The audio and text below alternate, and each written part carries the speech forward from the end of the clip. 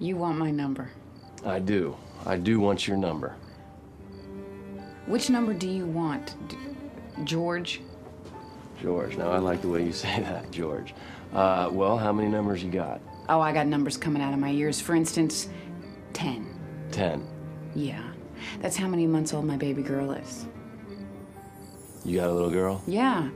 Yeah, sexy, huh? How about this for number six? That's how old my other daughter is. Eight is the age of my son. Two is how many times I've been married and divorced. Sixteen is the number of dollars I have in my bank account. 8503943. That's my phone number. And with all the numbers I gave you, I'm guessing zero is the number of times you're gonna call.